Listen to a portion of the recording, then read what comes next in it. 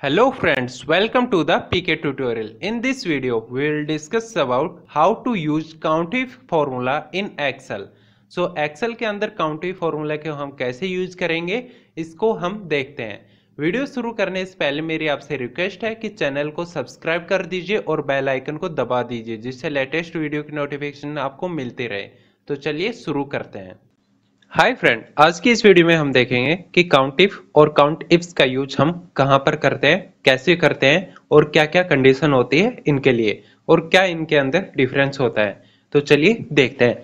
सबसे पहले हमारे पास में एक टेबल है, जिसके अंदर हमारे पाँच कॉलम है date employ code salary gender और सिटी हमें सिटी के ऊपर लगाना है काउंट इफ़ तो ये हमने यूनिक सिटी लिख ली है, इस कॉलम की सभी सिटी यहाँ पर आ गई है। अब हमें लगाना है काउंट इफ़ तो सबसे पहले इक्वल टू उसके बाद में मैं लिखूँगा काउंट इफ़ तो यहाँ पर हमारे पास में आ जाता है काउंट इफ़ और काउंट इफ्स तो इन दोनों के बीच में डिफरेंस है तो वन बाय वन इन दोनों से करके दिखाता हूँ मैं। तो काउंट इफ़ बेसिकली हमारा सिर्फ़ एक कंडीशन के लिए लगता है। एक कंडीशन कैसे? कि हमारे सिटी के अंदर हमारी कितनी सिटी आई है, वो हम देखेंगे। तो टैब दबाया हमने यहाँ पे रेंज यहाँ पे क्या आ गया है? रेंज रेंज हम क्या देंगे? एफ़ जो कॉलम है, वो रेंज हमने दे दी। अब क्राइटेरिया क्राइटेरिया क्या है?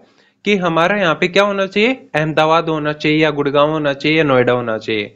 तो ये वन बाय वन स्क्रॉल हम जब करेंगे तो वन बाय वन ये आ जाएगा। इसके बाद ब्रैकेट को बंद कर देंगे और एंटर दबा देंगे। तो यहाँ पर क्या हो गया ये?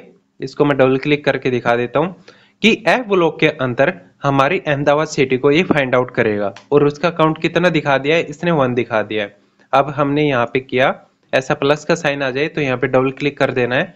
तो ये कंडीशन ये फॉर्मूला सभी के लिए अप्लाई हो जाएगा। अब देखते हैं नोएडा के लिए। नोएडा के लिए मैंने डबल क्लिक किया यहाँ पे। तो इस पर्टिकुलर सिटी के अंदर, जो यहाँ पे वैल्यू होगी, वो इसके अंदर फाइंड आउट करेगा और उसका काउंट यहाँ पे दे देगा। तो कितना काउंट दिया है इसने यहाँ पे? थ्री काउंट दिया है। तो इस तरीके से हम काउंटिव फॉर्मूले को यूज़ कर सकते हैं। अगर हमें काउंटिव फॉर्मूले को यूज़ करना है तो इसके लिए हमें क्या करना होगा? हमारी मल्टीपल कंडीशन आ जाएगी। मल्टीपल कंडीशन बोले तो जैसे यहाँ पे हमने सिटी लिया था। सिटी के अंदर हमारा मेल या फीमेल मतलब जेंडर का टाइप भी होना चाहिए। तो यहाँ पे हमारा क्या है? ये तो हमारी पर्टिकुलर सिटी जितनी यहाँ पे थी, उतनी यहाँ पे है। लेकिन हमें अहमदाबाद के अंदर ये जो वन आया, ये मेल का है या फीमेल का है, ये चीज़ भी हम इससे देख सकते हैं। तो हम लगाते हैं यहाँ पे काउंट इप्स सबसे पहले हमने लिखना काउंट इप्स इसके बाद में हमारा क्या हो जाएगा? सिटी के ऊपर हम लगाएँगे कोमा हमारा क्राइटेरिया क्या हो जाएगा? अहमदाबाद देखना है हमें, ठीक है? सेकंड हमारा क्या हो जाएगा? जेंडर के ऊपर देखेगा ये। जेंडर के ऊपर क्या देखेगा ये? मेल देखेगा। लेकिन हमें यहाँ पे मेल को क्या कर देना है? फ्रीज कर देना है। यानी कि एफ़ फोर को एक बार हम दबा देंगे तो यहाँ पे डॉलर का साइन आ जाएगा। डॉलर एम डॉलर फोर यानी कि ये रो और कॉलम बेस पे फ्रीज हो चुका है। ये वैल्यू यहाँ से हिलेगी नहीं। अब इसको हम ब्रैकेट को बंद करके एंटर दबा देंगे। तो ये जो हमारा था, ये किसके लिए था? मेल के लिए था। अगर हम इसको कॉपी करके इसको यहाँ पे पेस्ट कर देते हैं, ठीक है? तो ये ज़ीरो आ गया। लेकिन ज़ीरो तो आ गया, लेकिन ये किसके ऊपर अप्लाई हो रहा है? तो डबल क्लिक करके देखते हैं। तो ये मेल के ऊपर ही अप्लाई हो रहा है। इस फॉर्मूले थोड़ा सा चेंज करना होगा, जो हमारा ये एन फोर है। एम फोर की जगह हमें क्या लेके आना होगा? एन फोर लेके आना होगा। या तो इसको मैनुअली हम कर सकते हैं, या फिर हम दोबारा से फॉर्मूला लगा के कर सकते हैं। तो ये हो गया हमारा ज़ीरो चलिए, ये तो मैंने आपको मैनुअली करके दिखा दिया है। अब इसको फॉर्मूले से ही कर देते हैं। ठीक है? तो क्या होगा? इसको तो मैं ड्रैग कर देता हूँ यहाँ पे। प्लस का साइन सा आ गया है। अब इसको डबल क्लिक किया, ये आ गया यहाँ पे। अब फीमेल के ऊपर मैं जाऊँगा। फीमेल के ऊपर जाने के बाद में काउंट इप्स काउंट टिप्स किया। क्या आएगा? हमारा सबसे पहले एफ़ कॉलम को सिलेक्ट करेंगे। उसके बाद में हम अहमदाबाद को सिलेक्ट करेंगे। यानी कि सिटी को सिलेक्ट करेंगे।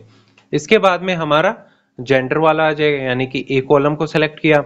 इसके बाद में हमारा क्या आ जाएगा? फीमेल आ जाएगा यहाँ पे।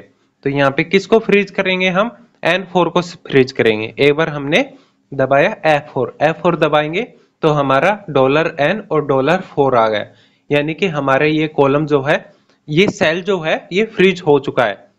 अब एंटर दबाएँगे, क्या गया यहाँ पे? ज़ीरो आ चुका है। अब इस सेल के ऊपर जाकर के प्लस साइन आ गया, इस पे डबल क्लिक किया। तो हमारा क्या आ गया है? ये स्प्लिट हो चुका है मेल और फीमेल के अंदर। तो यहाँ पे हमारा क्या लगा है? काउंट इप्स लगा है। यहाँ पे हमारा क्या लगा है? काउंट इफ़ लगा है। चलो हम एक छोटा सा एग्ज़ाम्पल और दे के देख लेते हैं। हमें इस मेल और फीमेल को जो है, क्या चाहिए? नीचे चाहिए। कि इसका टोटल कितना काउंट है? तो इसके लिए हमने क्या किया है? एक चीज़ और सिखा देता हूँ साथ के साथ में। मेल और फीमेल को मैंने किया कॉपी। कॉपी करने के बाद में मैंने यहाँ पे दबाया एल्ट ई एस और एल्ट ई एस दबाने के बाद में ये हमारे पास में एक ऑप्शन आ जाता है पेस्ट स्पेशल का। तो यहाँ पे हम कर देंगे ट्रांसफोर यहाँ पे क्लिक किया ओके किया। तो ये जो रो में था, वो सॉरी जो कॉलम के अंदर था यानी एम कॉलम के अंदर और एन कॉलम के अंदर तो ये हमारा कैसे आ गया? एक ही रो के अंदर आ गया। अब मेल और फीमेल का हमें काउंट निकालना है। कैसे निकालेंगे?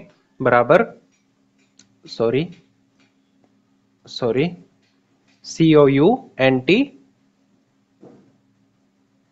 C O U count और इफ़ काउंट इफ़ से आ जाएगा क्योंकि एक ही कंडीशन लगानी है। रेंज कहाँ पे देंगे हम? रेंज देंगे हम इस जेंडर के ऊपर, यानी ई e कॉलम को हम सेलेक्ट करेंगे। सॉरी यहाँ पे एक कोमा और लगा हुआ है तो इसको हटा दूँगा। अब मैं रेंज दूँगा ए कॉलम के ऊपर कोमा और ये क्या हो जाएगा हमारा? मेल का काउंट हमें चाहिए। तो हम इसको ब्रैकेट को बंद कर देंगे। और फिर हमारा क्या आ जाएगा? मेल हमारा कितना आ गया फोर्टीन इसको मैंने ड्रैग किया। और फोर हमारे क्या है? फीमेल है। यानी कि इस कॉलम के अंदर हमारे फोर्टीन मेल है। और फोर फीमेल है। तो इस तरीके से हम काउंटी फॉर्मूले का यूज़ करते हैं। और भी बहुत सारी कंडीशन होती है, जो कि नेक्स्ट वीडियो में हम डिस्कस करते जाएँगे। उम्मीद करता हूँ दोस्तों, आपको दी गई जानकारी समझ में आई होगी कि कैसे हम एक्सेल के अंदर काउंटिव और काउंटिव फॉर्मूले को यूज़ कर सकते हैं। अगर आपको सेम चीज़ आर और पाइथन के अंदर देखनी है तो उसके लिए मैंने अलग से सेपरेट प्लेलिस्ट बनाई हुई है। आप वहाँ पर जाकर के चेक कर सकते हो।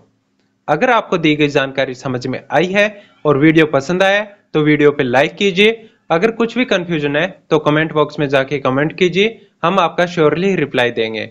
आप अपनी मेल आईडी को भेज दीजिए हमारे इंस्टाग्राम आईडी पर, जिससे हम आपको स्टडी मटेरियल इस वीडियो से रिलेटेड प्रोवाइड कराते रहें। Thank you very much keep watching the PK tutorial